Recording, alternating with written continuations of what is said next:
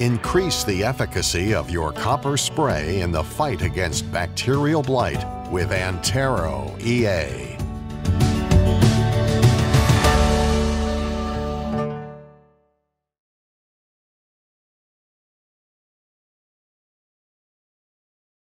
Hello, I'm Matthew Malcolm with Pacific Nut Producer Magazine. Uh, here today to talk about some research going on with Oregon State University Extension.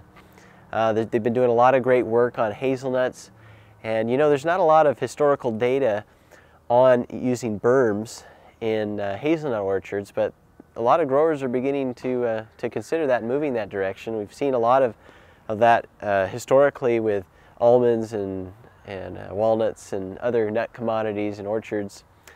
Um, but with hazelnuts, there's, there's, some, there's some pros and cons to that here in Oregon. And here's Aaron Heinrich from Oregon State University to address it.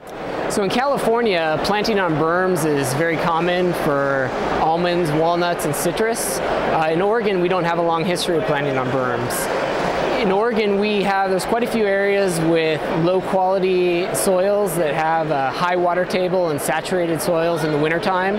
And we do a lot of drainage tile in the winter, but one possibility instead of using drainage tile is to plant on berms. And the idea is that the roots are uh, that the berm drains better and there's more aeration for the roots and so less chance of diseases such as, such as Phytophthora uh, from occurring. And uh, currently we're experimenting with different, uh, different sizes of berms to figure out uh, what berms work best for Oregon conditions.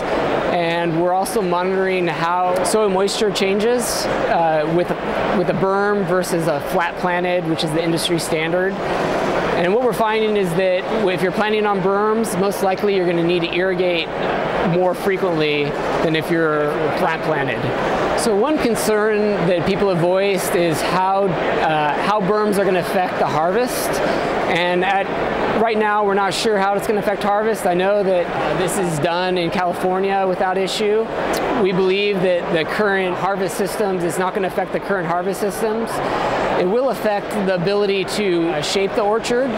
So most growers drag the orchards to uh, have a very smooth, clean uh, orchard floor at harvest. And uh, you won't be able to do that uh, with the berms.